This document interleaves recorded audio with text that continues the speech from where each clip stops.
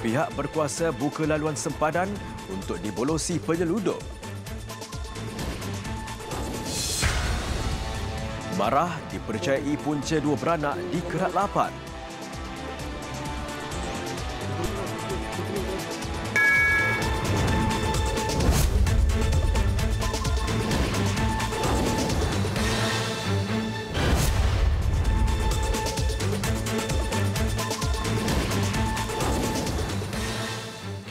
Berita TV9 Jalapan Malam bersama saya Ahmad Bar, Zainal Abidin. Assalamualaikum dan salam sejahtera. Pagar sempadan dirosakkan, barangan subsidi diseludup ke negara jiran. Perbuatan itu dilakukan di hadapan anggota keselamatan yang bertugas di sepadan Malaysia Thailand iaitu pada Besar Pelis selepas dipercayai makan rasuah. Ketua Pesuruhjaya Suruhanjaya Pencegahan Rasuah Malaysia SPRM Latifah Koya mendedahkan pihaknya mempunyai ribuan klip rakaman video aktiviti penyeludupan berkenaan sekaligus membayangkan sejumlah besar subsidi yang jadi habuan penyeludup.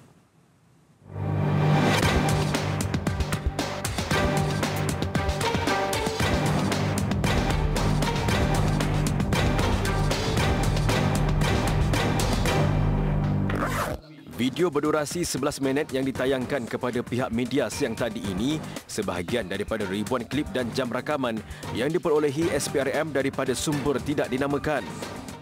We, what we show is just uh, uh, samples of clips.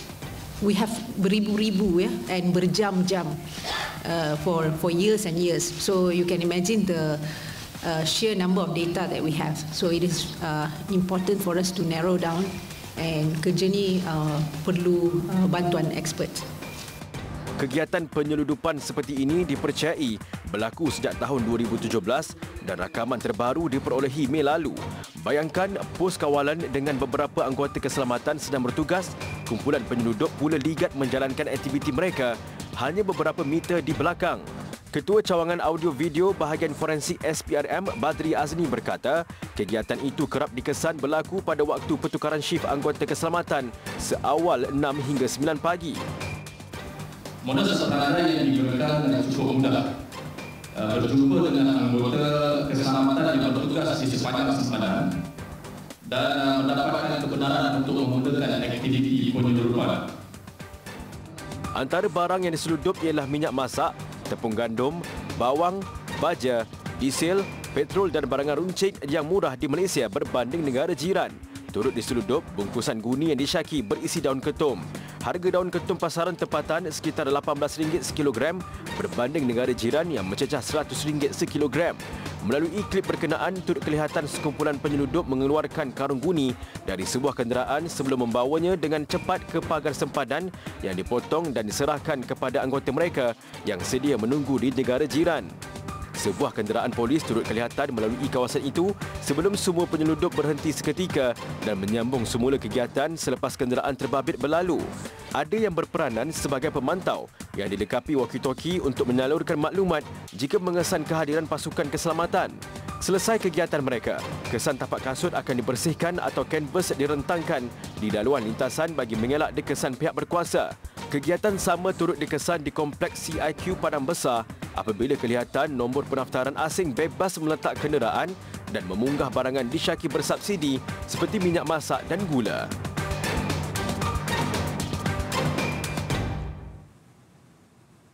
Latifah berkata bahan bukti yang diperolehi SPRM itu diserahkan kepada pihak polis untuk tindakan lanjut. Kami sebenarnya telah uh, menyerahkan uh, video ini uh, dan uh, clips dan sebagainya keseluruhan kepada pihak PDRM dan kita akan bekerjasama dengan pihak IGP untuk uh, mengambil tindakan yang sewajarnya. Maybe I can Tambah beliau, setakat ini tiada sebarang tangkapan dilakukan. Beliau bagaimanapun menganggap ribuan video yang diperolehi oleh SPRM sebagai satu kejayaan dalam usaha Suruhanjaya itu mencegah rasuah berkaitan penyeludupan. Menurut Latifah, video ini membuktikan begitu mudahnya sepadan negara dibolosi kerana rasuah.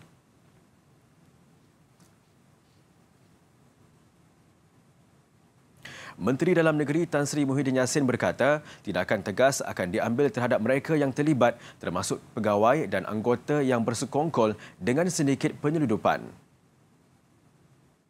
Maklumat yang nak disampaikan pada kami itu uh, kita kita alu-alukan dan kita akan siasatlah uh, adakah bukti yang jelas supaya tindakan dari segi undang-undang uh, yang ada pada kita akan kita laksanakan. Termasuk anggota yang terbabit. Ya, kalau ada anggota terbabit, kita tak boleh orang kata kecuali kan. Undang-undang tak mengenal sama ada pegawai ke ataupun memang penyelundup ke. Kalau ada yang bersyuhad sekalipun dan ada bukti, memang kita akan ambil tindakan. Tambahnya, penyelundupan rentas sepadan bukan satu perkara baru. Malah sudah lama berlaku walaupun tindakan diambil pihak berkuasa. Tan Sri Muhyiddin sebelum itu mengadakan lawatan kerja sehari di Pejabat Polis Pontian Johor. Beliau diberi taklimat persiapan kecil persiapan pilihan raya kecil PRK Tanjung Piai yang diadakan pada 16 November ini. Tan Sri Muhyiddin turut menziarahi seorang anggota polis berpangkat korporal yang mengalami sakit sendi.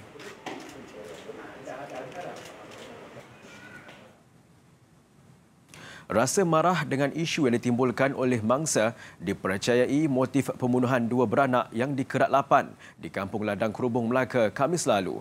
Menurut Timbalan Ketua Polis Melaka Datuk Syahrul Laili Masduki, siasatan kes itu hampir siap namun pihaknya perlu memanggil beberapa lagi individu untuk diambil keterangan. Selain menunggu laporan DNA dan keputusan ujian lain oleh pihak hospital. Kita akan panggil dia. Setakat ini belum lagi. Setakat, setakat ini belum lagi. Belum lagi dalam proses tu. Untuk melengkapkan siasatan, kita akan panggil semua orang yang terlibat dalam kes ini termasuk uh, keluarga suspek. Itu saja. Semua anggota, semua anggota badan dah ditemui lah. Kan? Belum lagi. Belum lagi. Belum lagi. Identiti kedua-dua mangsa belum dapat disahkan sehingga laporan DNA diperolehi. Sebelum ini, media melaporkan polis tidak menolak kemungkinan lapan bahagian tubuh mayat manusia yang ditemukan di dalam semak di kampung Ladang Kurubong milik dua beranak yang tular di media sosial. Beliau ditemui selepas perasmian taska di tempat kerja sektor awam di Ibu Pejabat Polis Kontijen IPK Melaka. Ia, ia disempurnakan oleh Timbalan Menteri Pembangunan Wanita, Keluarga dan Masyarakat Hanahio.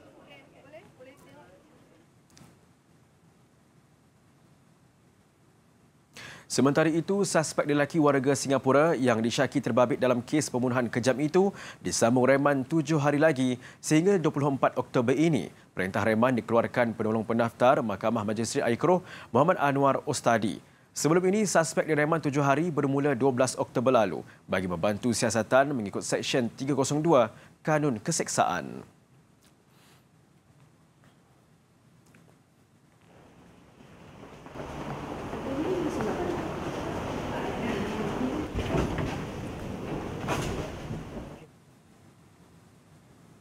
Pemandu lori warga Indonesia dihadapkan ke Mahkamah Session Kuantan atas pertuduhan memberi sokongan dan memiliki bahan berunsur keganasan berkaitan kumpulan pengganas Daesh. Tiada sebarang pengakuan direkodkan daripada tertuduh setelah pertuduhan dibacakan di hadapan Hakim Dazuki Ali. Tertuduh Fajrial 34 tahun didakwa memberi sokongan kepada kumpulan pengganas Daesh dengan cara mempromosikan melalui perbualan WhatsApp bersama seorang individu lain.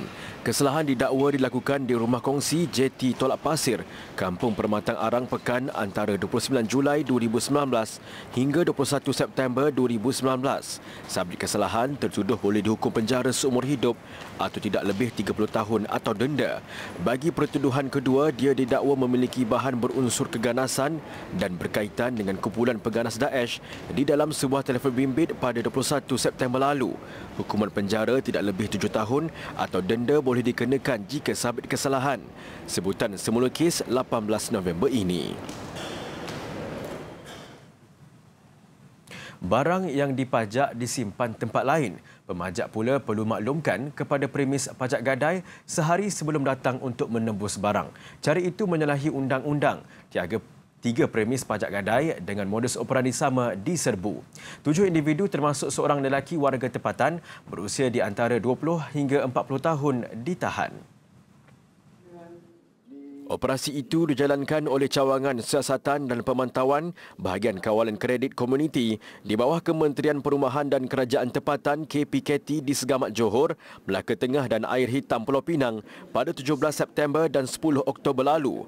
Ketiga-tiga premis beroperasi secara haram sejak 3 hingga 5 tahun lalu. Semuanya didapati melanggar Seksyen 16 Kurungan 2 Akta Pemegang Pajak Gadai 1972 modus uh, operandi yang dijalankan oleh ketiga-tiga premis ini lebih kurang sama.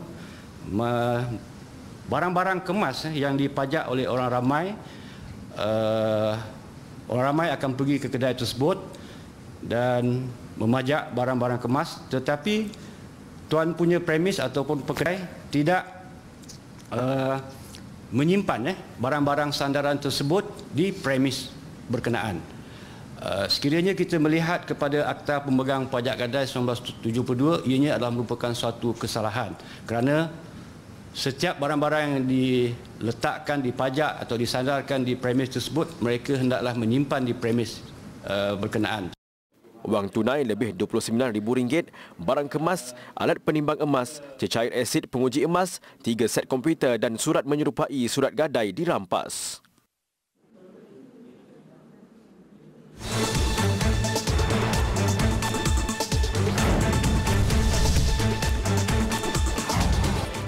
Bertemu kembali. Seorang pengusaha kedai makan kerugian RM100,000 selepas kedai makan yang diusahakan bersama suami musnah di jidat api. Kebakaran berlaku di kampung Kedai Buluh, Kuala Terengganu kira-kira jam 3.45 petang tadi menyebabkan semua perkakasan dan peralatan memasak musnah. Menurut pemilik terbabit Nur Aizan Mat Zaki, ketika kejadian dia baru sahaja meninggalkan kedainya bersama suami dan pekerja mereka kerana ke Bandar Kuala Terengganu. Dalam perjalanan, dia menerima panggilan memaklumkan kedai yang diusahakan lebih dua tahun lalu itu terbakar. Tak ada benda yang rasanya yang boleh mencurigakan saya kalau tinggal tu. Kita tinggal di dalam tu, dalam 15 minit kok akhirnya orang telefon saya kedai terbakar. Sampai sini yang tengok tak, ada benda dah, akhir kosong lah. Ketua Balai Bomba dan Penyelamat Kuala Terengganu, Rosizah Abni Hajar berkata, 31 anggota bersama tiga jentera dikejarkan ke lokasi kejadian sejurus menerima panggilan, punca kejadian dan jumlah kerugian dalam siasatan. Bumbung kantin sebuah sekolah di Kuching, Sarawak runtuh kira-kira jam 12.50 tengah hari tadi.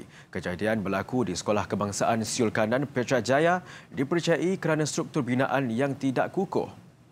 Kejadian Ketika kejadian, semua murid dan kaki tangan sekolah sudah pulang memandangkan dua sesi persekolahan digabung sempena Hari Sukan. Tiada kecederaan dilaporkan. Menurut Ketua Penolong Pengarah Kanan Sektor Infrastruktur dan Perolehan Jabatan Pendidikan Negeri Sarawak, Wan Fadilah Wan Ahmad, pihaknya menerusi Pejabat Pendidikan Daerah Kuching dalam proses perolehan untuk mendapatkan sebuah harga bagi melaksanakan pembaikan bangunan kantin sekolah berkenaan. Ia selepas pihak sekolah memanjangkan permohonan pembaikan segera kepada Jabatan kesempatan itu pada 15 Oktober lalu. Sebelum ini, Guru Besar Sekolah Kebangsaan Siul Kanan Ismail Ibrahim memaklumkan pihaknya telah menutup ruang berkenaan sejak sebulan lalu atas sebab keselamatan.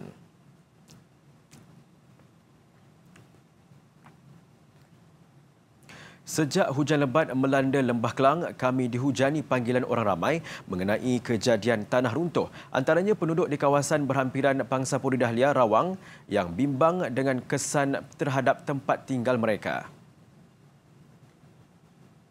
Pusat Gerakan Operasi Bomba Selangor dalam satu kenyataan memaklumkan pihaknya menerima panggilan kecemasan mengenai kejadian itu malam semalam. Tanah runtuh didapati berlaku di belakang Pangsapuri saya baru balik dari kedai. Ha? Tiba-tiba balik tu tengok ada tanah tu. Pokok mula-mula jatuh lah. Besar pokok? Ha. Lepas tu sebab tak boleh jalan kan. Saya tebang dulu lah pokok tu. Lepas tu dalam masa setengah jam ni saya call 99 hmm. Saya minta satu lah. Ya, cepatkanlah apa ni. Sebab tongkang dah sumbat. Air dah mengalir keluar. Masuk ke rumah? Ha? ha dah masuk ke rumah tak nak lah lama-lama macam ni. Tak selesa juga ke rumah kalau ada air masuk dalam rumah. Ya, kita sebagai penduduk Bandar Kantrium khususnya sebab ini tanah kejadian tanah runtuh ini sebab kita meminta bantuan pihak pemaju supaya datang sini tengok keadaan dan kalau boleh buatlah kerja untuk pemulihan segera. Pihak bomba bagaimanapun tidak mengesan sebarang kerosakan struktur bangunan. Di ibu negara, penghuni flat PKNS Jalan Tun Razak trauma setiap kali hujan lebat. Mereka bimbang keselamatan kediaman yang dihuni mengalami kerosakan termasuk retak. Blok G adalah satu daripada 10 rumah pangsa yang dikatakan menerima kesan yang teruk ekoran banjir kilat lewat petang semalam. Keadaan menjadi kelam kabut apatah lagi kedudukan flat yang berusia hampir setengah abad ini bersebelahan dengan Sungai Kelang. Jika dilihat pada mata kasar juga, beberapa bahagian flat ini sedikit mendap. Rumah saya habis kena banjir. Ha, kena barang-barang saya, perabot saya habis semua kena. Dengan uh, tilam apa semua. Lepas tu yang paling sedih, saya seorang kelang kabut angkat uh, barang-barang ni semua. Uh, letak atas meja semua sebab air dah naik tinggi kan. Paras lutut. Habis saya angkat seorang. Cucu saya kelang kabut, saya suruh dia naik tingkat atas. Uh, atas rumah ni, rumah jiran-jiran Tompang. 15 keluarga membabitkan 62 orang kini dipindahkan ke pusat pemindahan sementara di Dewan Serbaguna Jalan Hamzah buat sementara waktu. Ini adalah kesan banjir kilat yang berlaku pada 1 Oktober lalu dan selepas 17 hari, perkara sama berlaku kepada penghuni di flat PKNS Jalan Tun Razak ini. Dan para penghuni menyatakan kebimbangan mereka kerana tiada jalan penyelesaian diambil oleh pihak berkuasa setakat ini. Bagi Salmiah Salbi, kejadian yang berlaku meninggalkan kesan emosi kepada dirinya. Beliau meminta pihak berwajib segera mengambil tindakan dan membantu penghuni. Kita membesar kat rumah ni tu, Dik. Jadi bila tengok rumah tu rosak, kita memang macam sedih sangat. Kita kalau boleh memang dah lama rumah ni, rumah ni kenangan kita dengan mak ayah kita kan. Dengan orang-orang kampung kat sini, kita membesar kat sini tu. Jadi bila tengok benda tu rosak, hati tu luluh sangat. Memang luluh. Jadi bila kita cakap kita nak minta, bukan nak minta lah, kena faham lah apa perasaan kita yang duduk bawah ni kan. Tapi orang memang ada buat sesuatu, tapi apa sebenarnya tindakan dia orang? Difahamkan Dewan Bandaraya Kuala Lumpur akan bertemu penduduk terlibat esok.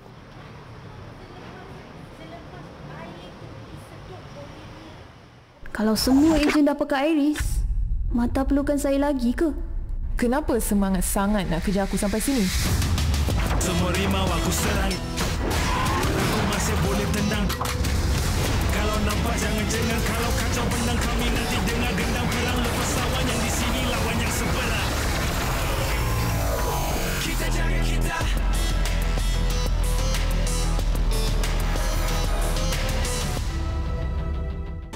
Laporan antarabangsa. Pihak berkuasa Kurdis di Timur Laut Syria menuduh Turki melancarkan serangan bom napam dan fosfor putih yang diharamkan mengakibatkan penduduk melecur teruk. Kumpulan Pemantau Hak Asasi Manusia Syria SOHR mengakui berlakunya peningkatan kes mangsa melecur namun tidak dapat mengesahkan sama ada bahan terlarang digunakan dalam serangan. Susulan berdilan tentera Turki di Ras Al Ain dan Tal Tamir beberapa penduduk termasuk kanak-kanak dikegaskan ke hospital untuk mendapatkan rawatan. Menteri Pertahanan Turki Hulusi Akar bagaimanapun menafikan dakwaan melancarkan serangan menggunakan bahan terlarang. Sebaliknya Akar menuduh puak Kurdis dengan sengaja menggunakan senjata kimia untuk menyalahkan pihaknya.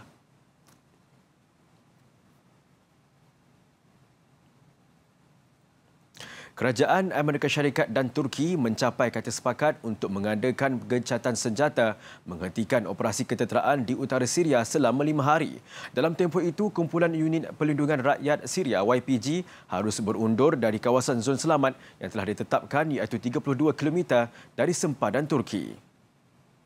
Well, our, our commitment uh, with Turkey is that uh, we will work with YPG members and uh, um, we also know as uh, Syria Defense Forces to facilitate an orderly withdrawal over the next 120 hours. Let me say that's literally already begun.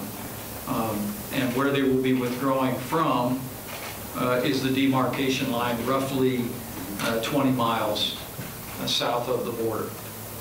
Persetujuan itu dicapai susulan pertemuan tertutup di antara Presiden Turki Recep Tayyip Erdogan dan Naib Presiden Amerika Syarikat Mike Pence yang berlangsung selama 2 jam 40 minit di Istana Presiden di Ankara. Di bawah perjanjian itu, Amerika Syarikat berjanji untuk merampas senjata berat milik YPG selain memusnahkan kubu pertahanannya. Sementara itu, Menteri Luar Turki menegaskan operasi Peace Spring tidak ditamatkan namun hanya dihentikan buat sementara. Presiden Donald Trump dalam pada itu berkata Washington akan menarik balik sekatan ke atas Turki apabila operasi ditamatkan.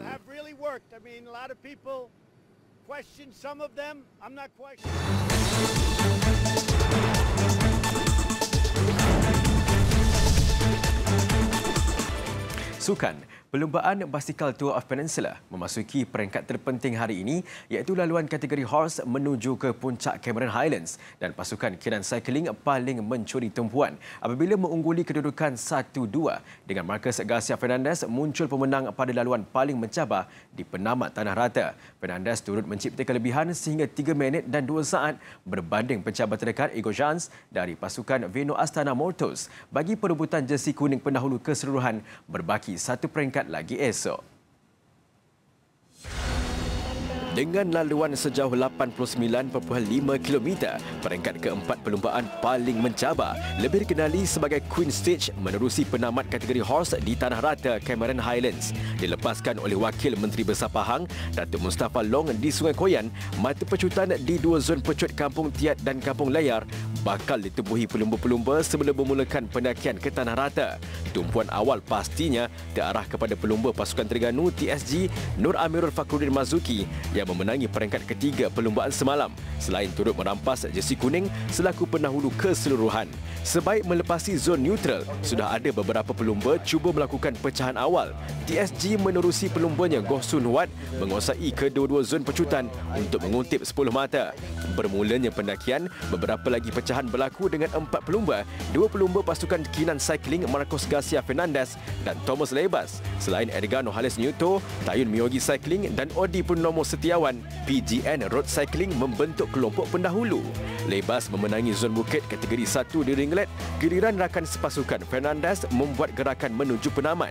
Fernandez melakukan penamat solo di tanah rata untuk gelaran juara peringkat keempat perlumbaan sekaligus merampas jersey kuning selaku pendahulu keseluruhan. Malah Fernandez dilihat berpeluang cerah untuk bergelar juara menerusi kelebihan 3 minit dan 2 saat berbanding pencabar terdekat Ego Jean dari pasukan Vino Astana Mortos. Sementara TSG pastinya kecewa terlepas jersey kuning lebih perit turut kehilangan pelumba utama Muhammad Harif Saleh yang terpaksa menarik diri pada baki 20 km terakhir berikutan masalah kesihatan yang dialaminya. Peringkat terakhir perlumbaan esok membabitkan laluan sejauh 151.4 km bermula di Kuala Lipis menuju ke Setiawangsa. Berita TV9 berakhir di sini dan sebelum berpisah, saksikan lawatan pasangan diraja Britain Putera William dan Kate Middleton ke Masjid Badshahi yang terletak di Lahore, Pakistan. Saya Ahmad Bar, Zanab Bidin. Assalamualaikum dan selamat malam.